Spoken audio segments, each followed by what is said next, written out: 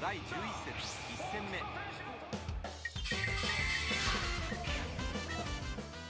バッターボックスは4番坂本。先ほどの打席で先制のタイムリーを放っています。勝負強さを発揮してくれましたよね。ファーストランナースタート。滑り込んでアウト盗塁失敗。ここはスチールを阻止されてしまいました。いやーこれは残念でしたね。引っ張った。サードうまくさばいてアウトツーアウト。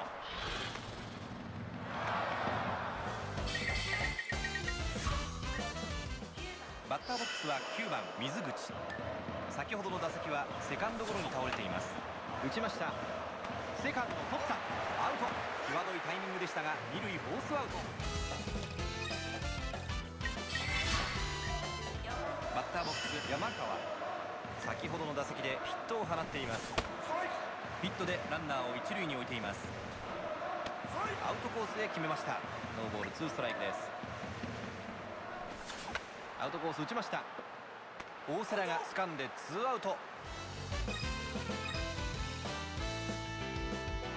ソフトバンク打ちに打ちました。大量